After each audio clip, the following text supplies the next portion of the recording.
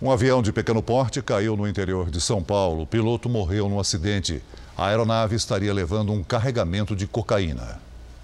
O avião caiu numa área de mata na cidade de São Pedro, interior paulista. Os moradores relataram que por volta das quatro da manhã foram acordados com um barulho muito forte. Escutei aquele ronco, sabe, que quando desliga assim começa a estourar que nem pipoca. Daí eu pulei da cama, daí eu falei pro meu esposo, falei, nossa, acho que tem um avião caindo. Daí quando eu abri a porta não deu mais para ver. No final da manhã, equipes das polícias civil e militar conseguiram encontrar a aeronave. Não houve explosão e a principal hipótese para a queda é de pane seca.